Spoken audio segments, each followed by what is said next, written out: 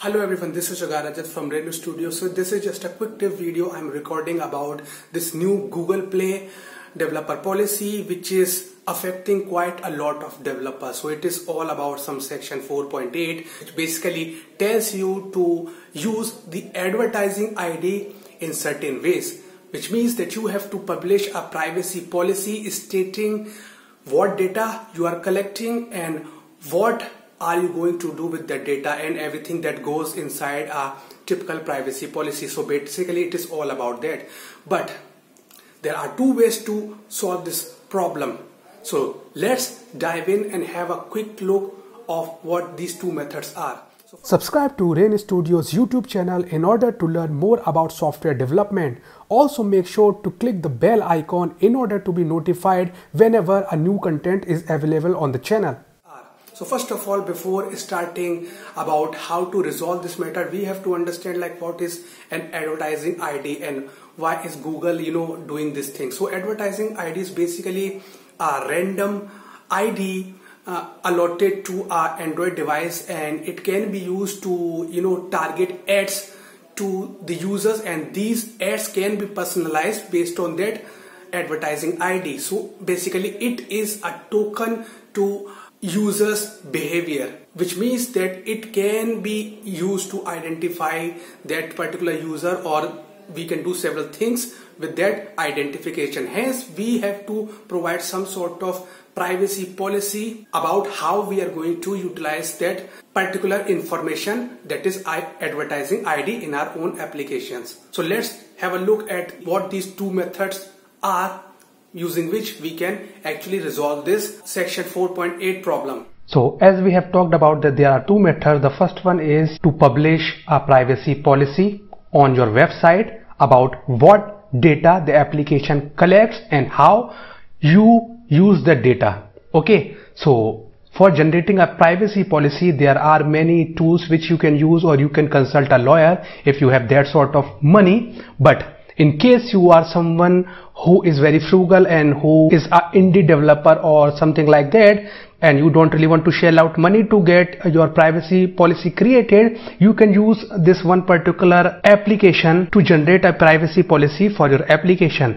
So you have to fill up this form and it will give you a HTML page which will contain a privacy policy. You can download that page and upload it on your web server. And then you will provide the link to that privacy policy into the Google Play developer console under the privacy policy column and then you resubmit the application. And if your application got accepted the privacy policy would be visible on the app page on Google Play. But you also have to update that link to privacy policy inside the application as well. So in order to get your app approved you have to put the privacy policies link in two places. First one is on the uh, developer console entry and then inside the application itself. So it will require you to update the application as well. Okay?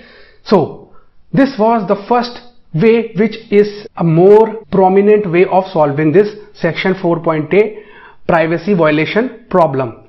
The other way of solving this problem is to opt out of this advertising ID collection. So this is going to be a hacky way and I would like to put a disclaimer here that I don't really know if it is going to break your analytics or something like that but uh, you can just stop collecting this advertising ID in your applications in case you are not doing anything fancy with that advertising ID or you haven't employed a fancy analytics tool which solely depends on this advertising ID for its functionality. So what you can do is like you have to go to this URL and then there is a documentation about how you can disable the this advertising ID collection. So here it is.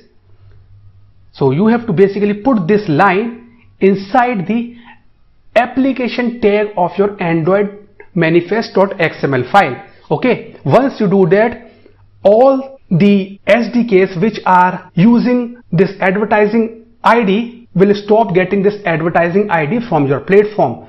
Okay? So this will basically opt you out of this advertising id collection uh, mechanism. And that will indicate to google play or whoever is you know doing the approval process that this application does not actually use the advertising id for any purpose. But see i am really not sure if it can have any adverse effect in the long run. This is the method which I have used to save my application. Two of my applications were hit with this section 4.8 and in one of my application I was not doing any sort of uh, ad display or whatever I was just using Firebase uh, analytics or Firebase SDK so I basically was not doing any sort of uh, ad display or analytics collection so I basically opted out of this advertising ID collection or read permission and I resubmitted the application after putting this one line into my Android manifest.xml and it got accepted within an hour. So if you are not doing anything uh, extravagant or fancy with this advertising ID, you can basically put this one line in in your Android manifest.xml file and call it a day and resubmit the application. You are not required to update any sort of privacy policy on your server or inside the application. You can just go ahead generate a signed APK and submit it as a new update and it will hopefully get accepted.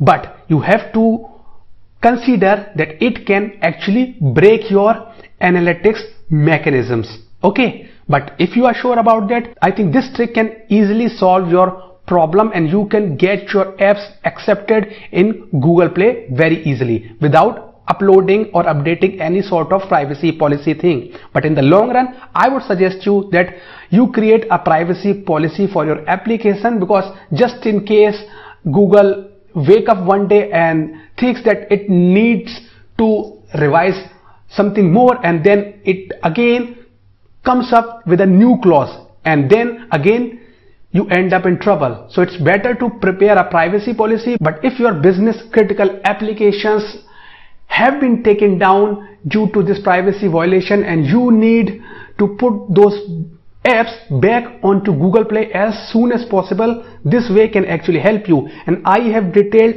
this way in my Stack Overflow answer as well, which you can read here. So I will put the link to my Stack Overflow answer in this video post as well and you may want to check that out. So I hope that one of these two strategies will work for you and hopefully you will get your apps accepted back into the Google Play developer program and in case you are new here, make sure to subscribe to Rayn Studios YouTube channel because I produce weekly computer science and software development related videos. And in case you are interested in learning something specific related to software development, make sure you leave a comment on this video. And if you like this video, make sure you give it a thumbs up and share it with your developer friends. Take care, bye bye, and I'll see you around.